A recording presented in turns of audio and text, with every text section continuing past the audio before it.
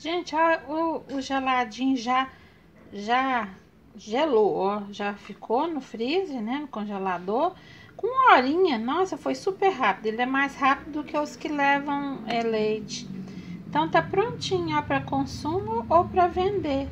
Olha que gracinha. Olha como é que a cor fica assim, um verde bonito, um verde forte da couve.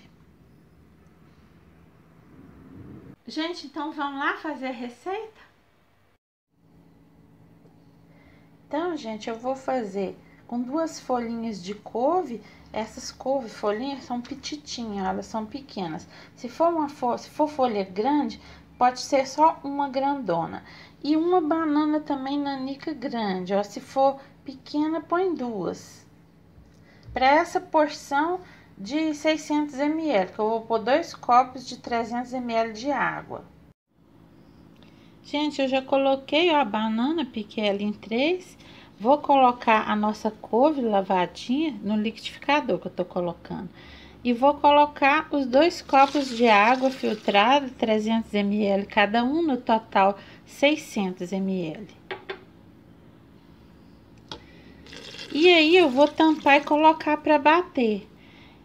Aí, eu não coloco nem adoçante, nem açúcar, porque a banana já é docinha e ele é um funcional, esse geladinho, e, e ele fica doce por causa da banana. Mas se você quiser provar e colocar adoçante ou açúcar, aí você fica a seu gosto. Mas eu te garanto que é doce, ele é suavemente doce, adocicado.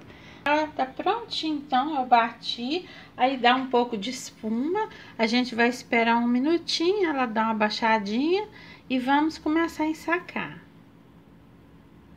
Agora, peguei o saquinho, o funil, né? E vou colocar o nosso líquido. Eu costumo, né, igual falei nos outros vídeos, de colocar já na medidinha. E achar a medida certa. Eu, eu expliquei nos outros dois vídeos. Aí, achar a medida certa, um copinho que dê a medida que você quer, que caiba no saquinho, você faz o teste antes. Com água, eu ensinei no primeiro vídeo dessa série. Então, agora a gente vai despejar. Ó, após despejar, aí a gente vai rodar a parte de baixo um pouco, depois você roda de cima para poder a gente dar o nozinho. Ó, aí depois você passa assim por dentro, deixa eu tirar esse copo daqui. Aí a gente passa por dentro Aí você tenta arrochar bem, ó, pra ficar bem apertadinho. Ó. Então, tá aí o nosso geladinho funcional.